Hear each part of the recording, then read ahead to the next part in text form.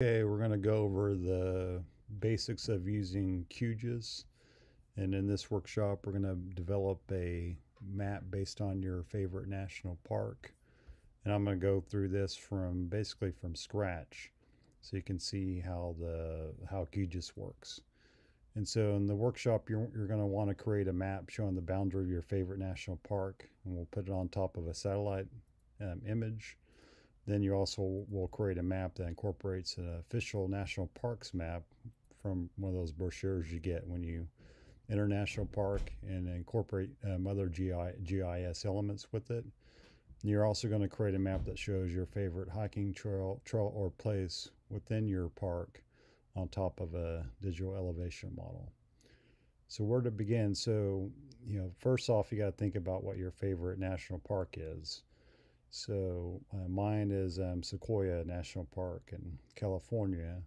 Um, so the first thing you need to do is like get the boundary information for the national park.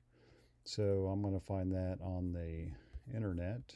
So I'm going to go to Google search and one of the common um, type file types for um, GIS is a shape file and it's um, .shp. So I'm going to search for is national parks, national park boundary, and type in shapefile. Let's see what we find here. So we have a U.S. government database.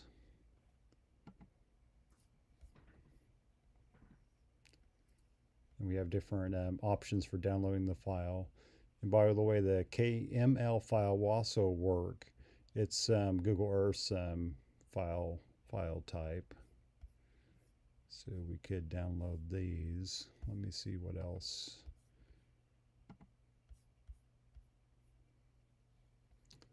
Um, this is all, the National Park Service's website. And it looks like, so here's general information, um, facilities, uh, but we're looking for boundaries, so that's fine. Click on the boundaries. NPS boundary data, looks like that's what we're looking for.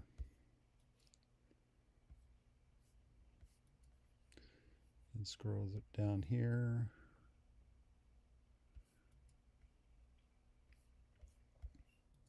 These are the different attributes in the database associated with the boundary. So we can just hit download. And so there's that KML file, which is Google format or shape file. So let's download the shape file.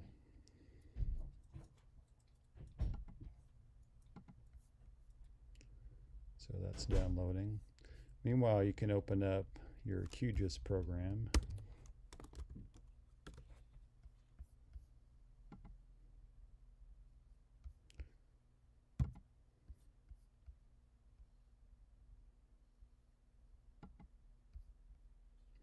And like um, using the Agisoft Metashape, you generally want to keep all your GIS um, files related to a project in the same folder. So that's what we'll do.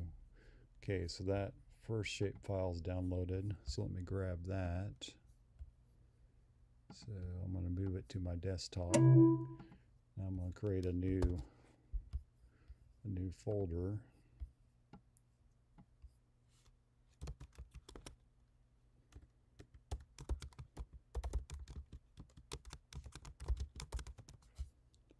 here. And I'm going to move my first data into there.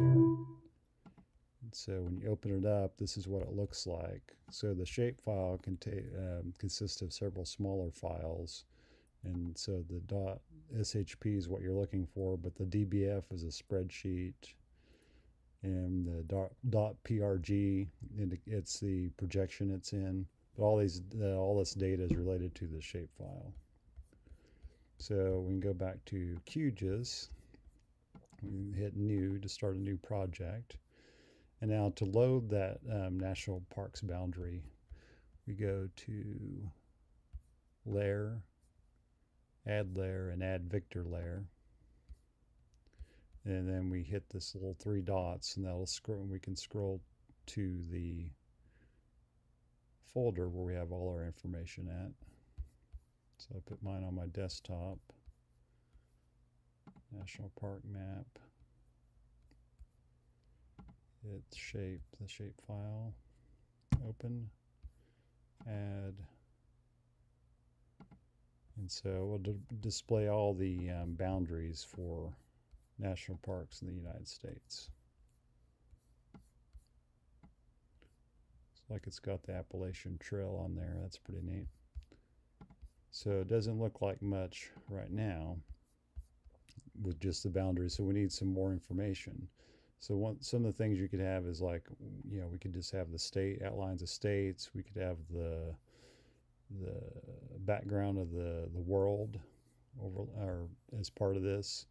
So let's so um, one thing you can use is a web service, and in QGIS are called XYZ tiles, and they have different imagery and different um, terrain, street views, and that kind of stuff. Um, so to find that, the easiest thing to do is to Google um, QGIS XYZ tiles. And look at one of these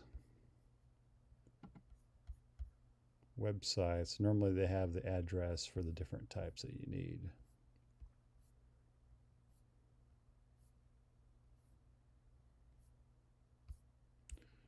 I'm not seeing it on that one. Let's see.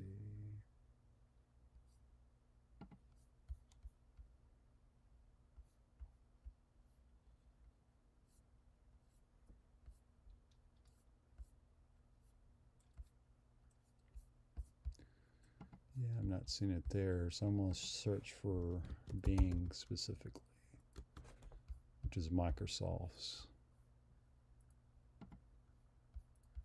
Aerials. Okay.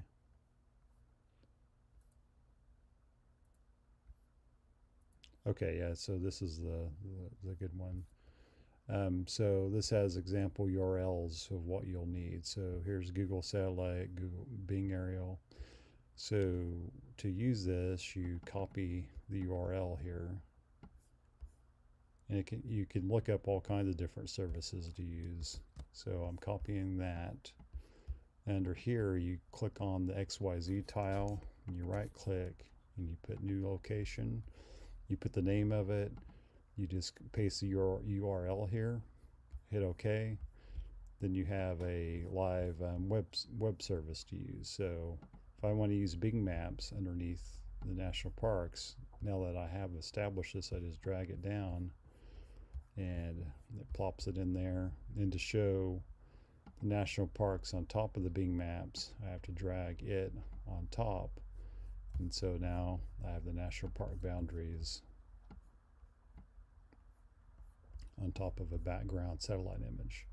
And so this is hooked to, so the Bing Maps is hooked to the internet, so it's live updating as I zoom in.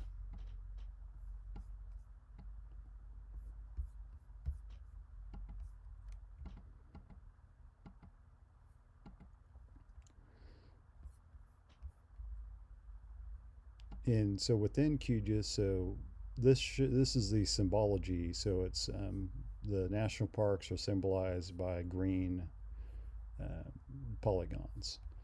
So we can change that to anything we want. So to do that, you right click on the layer uh, and go to open, or uh, getting ahead of myself. So go to open properties. You scroll down here to um, symbology and you can represent this in um, many different ways. Um, normally I select single symbol and simple fill. So we can change the fill color to whatever we want. So change it to red. Um, and also you can put um, no symbol or no fill. So then it's just an outline. You can change the stroke color, stroke thickness, color, um, all kinds of things. So, and just to give you another example, so if I didn't do want to do a single symbol, you can do, um, you can make it two and a half D. Let's see what that looks like. kind of builds it, makes it look, um, projects the data a little bit. That 45 degrees, see what it does.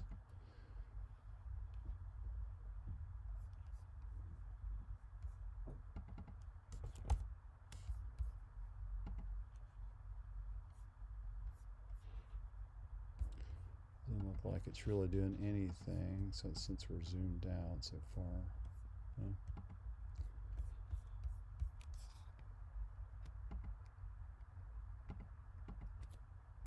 Let me go back in here. Uh, well, anyway, that's for how to symbolize a building. Um, you can play around with that if you want. You're not going to really need that for this project.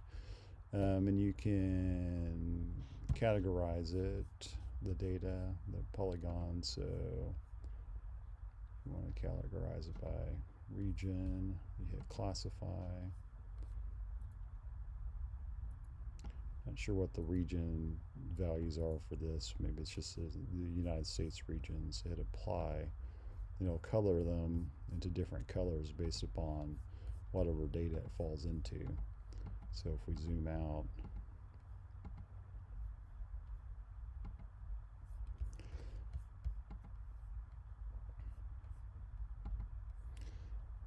takes a little bit while. It's um that's a status indicator bar indicating it's working. So it's coloring the different national parks according to their looks like the region. I guess Alaska is green up here. Get rid of that background.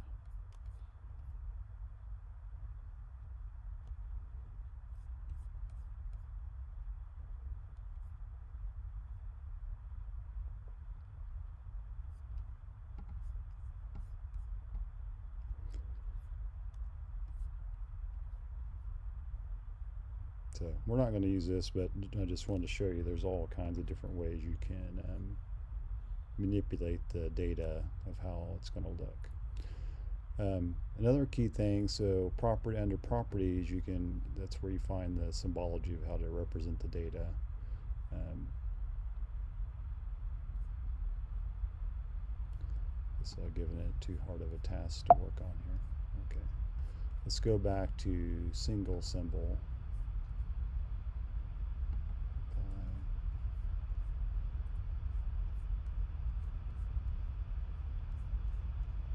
Okay, hit OK. Bring back our background. So I'm not particularly interested in having all the national parks since I just want to illustrate one. So let's go in here and a key thing you can do is you go to open attribute table and here here's the database that links all the different um, polygons together. So this is a, a database you can manipulate and do and select the data and do all kinds of different things with. So here's the unit name. So I said my favorite national park was Sequoia. So let's scroll down here and see if we can find it.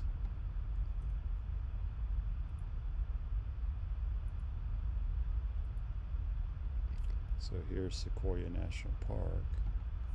If I highlight it, it will highlight um, it on the map as well.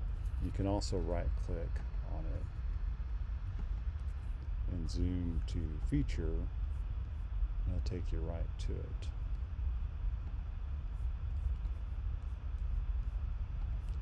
And you can zoom out and see where you're at.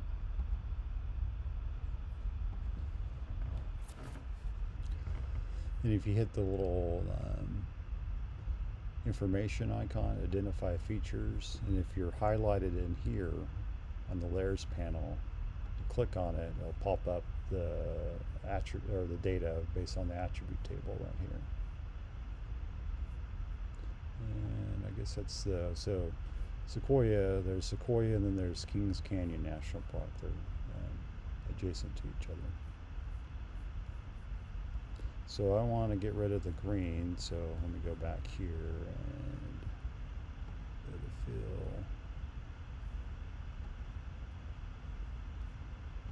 So we gotta get rid of all that other stuff. Okay.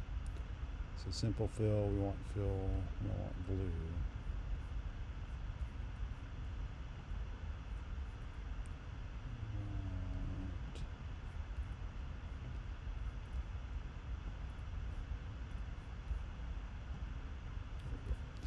So we'll get, we'll change simple fill,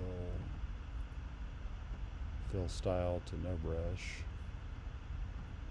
And we'll change the boundary to line. Okay.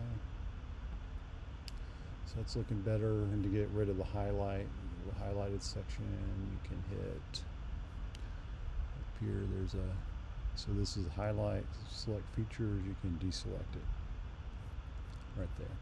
Another way to select your data is you can grab it right here, select features, and drag over, and that will also grab whatever you're working on. So that works pretty well. Um, so another thing to show our context is to show the Sequoia National Park within the state of California. So we might need a state file. So to find that, we'll go on the internet again. We'll start search for United States shapefile. Let's see what that brings up. So that might work. States basic.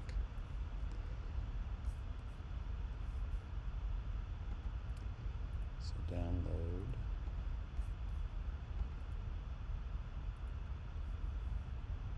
So I'll go to my download folder. And I'll copy it over to folder I'm working in. So to load that data up, I'll go to layer, add layer, add vector layer, go to the same spot, the folder. This time we'll go into the states folder.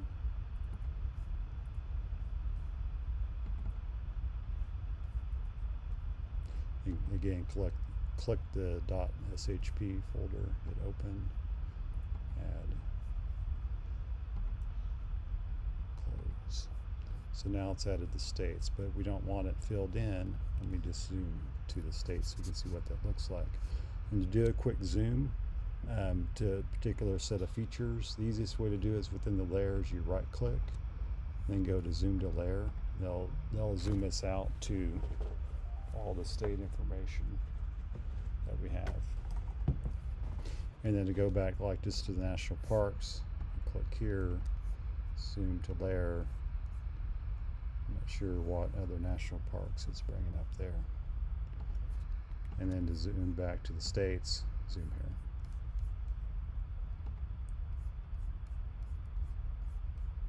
And then and a key and key thing to, to viewing your map is you manipulate the layers and so we'll put the national parks back on top of the states. And you can see it a lot better. Okay so we probably don't want the yeah we don't want the states filled in so double click the states. Single symbol hit simple fill. Under fill style hit no brush. Hit apply. And now we just have an outline. I'm going to change that to one again Okay. So that's looking better like we are actually have something.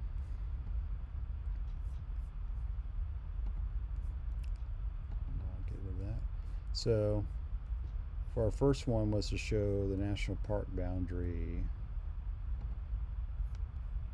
So create a map showing the boundary of your favorite national park on top, top of satellite imagery. So using web service and finding those shape files, I now have the sequoia on top of um, satellite imagery. But to make the boundary show up a little bit better, we can make it a different color. The boundary part. So I'll click on simple fill. Um, solid line, so stroke color, I can make it maybe white, make it show up better.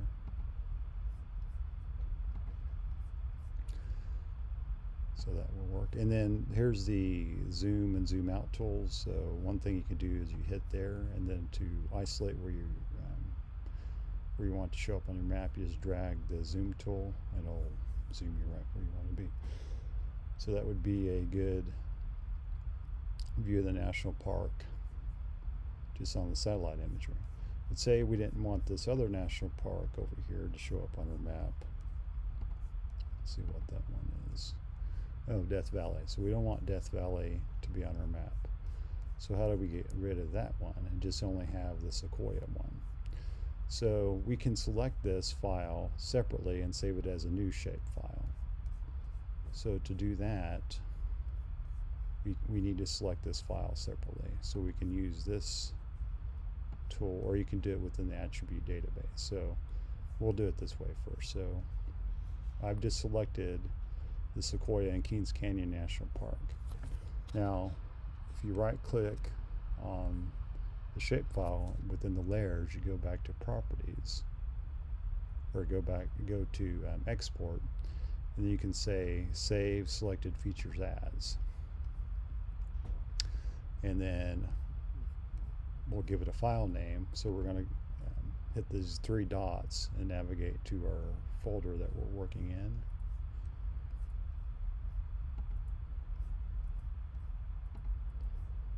We'll call this uh, Sequoia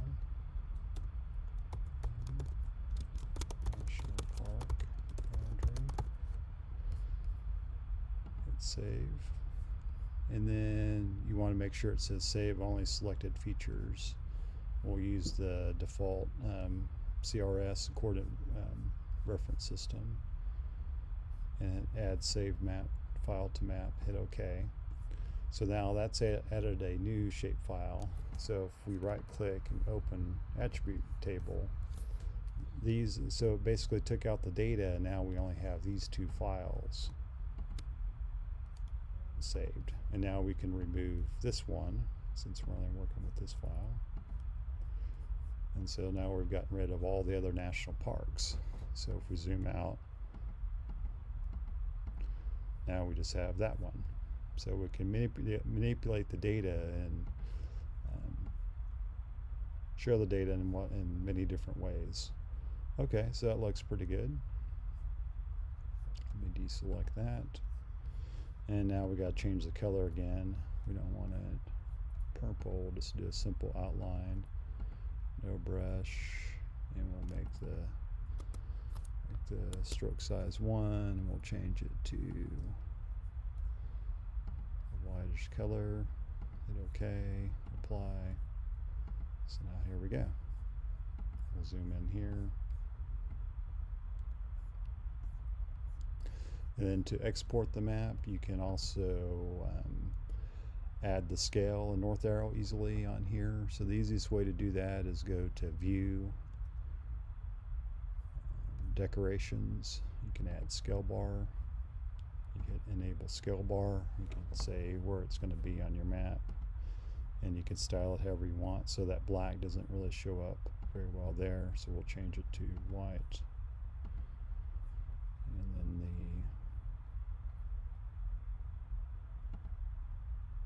font isn't showing up very well in black. So we'll change that color to white.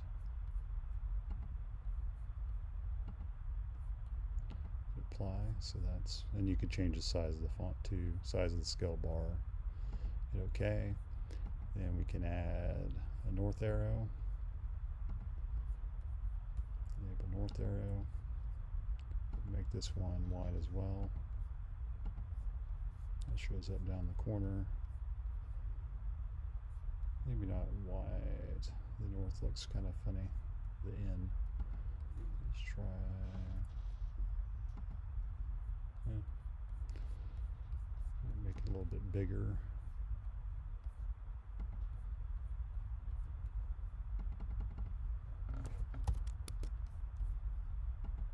There we go. Maybe a little bit bigger than that.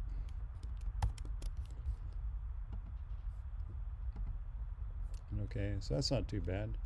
Now to save our map, you go to project, you go to import export, export map to image, and then you can change the resolution, and hit map canvas extent, which is just the extent of your screen that you're working on the map. Hit save. Save it to our desktop.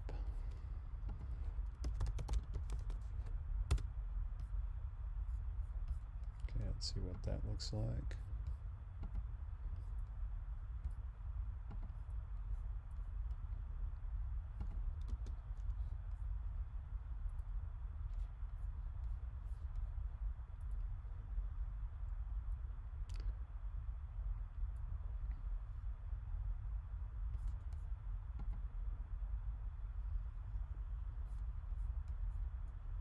Okay, so there's what it looks like. So looks pretty good pretty high res.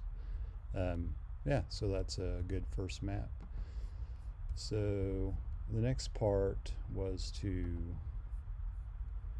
create a map that incorporates an official national parks map with other GIS elements. Well, I will stop this um, video here and then create a new one for the second part.